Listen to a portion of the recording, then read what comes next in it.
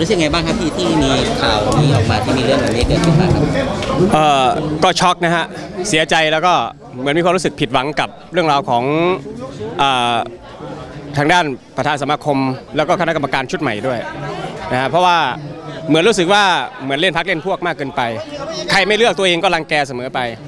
ฮะผมเปรียบเทียบกับเคสที่สตูลเนี่ยนะฮะลุมทำร้ายกรรมการในสนามเลยนะฮะในสนามเลย ภาพออกทั้งสื่อทุกสื่อนะฮะดูโดนแบนแค่ 3 ปี แล้วพอคณะกรรมการชุดนี้เข้ามา ก็ก็เลิกแบนตัดแต้มให้หกแต้ม แต่มีข่าวขอนแก่นยูไนเต็ดเหมือนกับมีแฟนบอลไปทำร้ายผู้ตัดสินน่ะ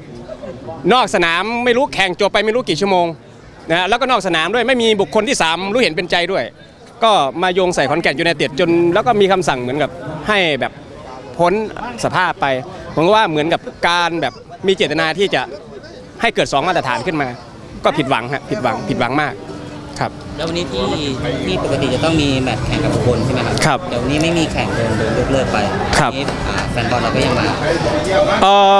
แฟนบอลขอนแก่นยูไนเต็ดอะเหนียวแน่นอยู่แล้วฮะถึงถึงวันเนี้ยเราจะไม่มีแมตช์แมตช์ในการแข่งขัน แต่ว่าเราก็ยังมามามาพร้อมเพรียงกันเพื่อที่จะมาให้กำลังใจทีมรักของเราเหมือนเดิมฮะไม่มีปัญหาฮะวันนี้ ไม่มีขอนแก่นยูไนเต็ดแต่วันหน้ามันจะต้องมีทีมที่เรารักทีมใหม่เกิดขึ้นแน่นอน ในการมาวันนี้เราเราต้องการอะไรบ้างครับคืออยากฝากถึงนายกสมาคมด้วย แล้วก็คณะกรรมการของสมาคม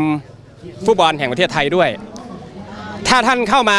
ในลักษณะคือตามสโลแกนของท่านเนี่ยคือสุสุจริตโปร่งใสเนี่ยผมถามหาก่อนอันดับแรกเงิน 35 ล้านของทีมชาติหายไปไหนเออ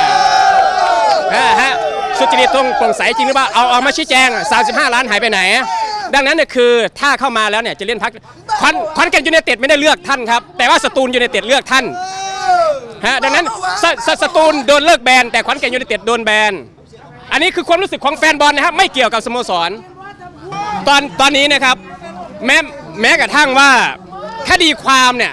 คดีความระหว่างระหว่างผู้ทำร้ายกรรมการกับกรรมการเนี่ยตอนนี้ยังอยู่ในชั้นรวบรวมพยานหลักฐานในชั้นตำรวจเลย ยังไม่ถึงขั้นอายการยังไม่ถึงขั้นศาลเลย ยังไม่มีการพิจารณาแต่ศาลขั้นต้นเลย ท่านนายกสมาคมฟุตบอลในประเทศไทยเนี่ยท่านเป็นอดีตผอบตรนะฮะรู้กฎหมายดี แต่ท่านยังเอาเรื่องที่มันยังคาราคาซังยังไม่มีบทสรุปอะไรเนี่ยมามาฟันขอนแก่นยูไนเต็ดเนี่ยผมถามว่าคือเรื่องราวของ ความเป็นผบตรของท่านน่ะหายไปไหน ท่านรู้กฎหมายดีนี่ฮะใช่ไหมฮะแต่ผมถามนิดนึง 35 ล้านหายไปไหน บอกเลยครับว่า ขอนแก่นยูไนเต็ด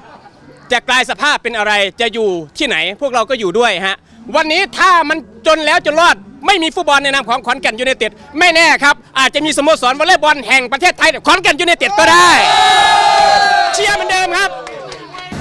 ฝากครับอย่าลืมในวันที่ท่านหาเสียงเอาไว้ สโลแกนหาเสียงของท่านคืออะไร fair fair โปร่งใส แต่วันเนี้ยพวกผมมองแล้วว่า พวกท่านไม่ได้โปร่งใสตามที่พวกท่านหาเสียงไว้ อันนี้ไม่ได้กล่าวหานะฮะแต่เป็นความรู้สึกแฟนบอลขอนแก่นยูไนเต็ดและแฟนบอลผมคิดว่าแฟนบอลอีกหลายๆ หลายๆ หลาย ๆ ทีมเนี่ยที่เขาเป็นกลางๆเนี่ยเขาก็มีความรู้สึกว่ามันไม่แฟร์อย่างเช่นสตูลเนี่ยทำร้ายร่างกายคณะกรรมการเนี่ยเห็นทั้งสื่อฮะ กรรมการนี่อ่วมอรไทยมากกว่านี้อีก และไม่ได้เจอคนเดียวด้วยนะในสนามด้วย แต่ทำไมชุดก่อนแบนไป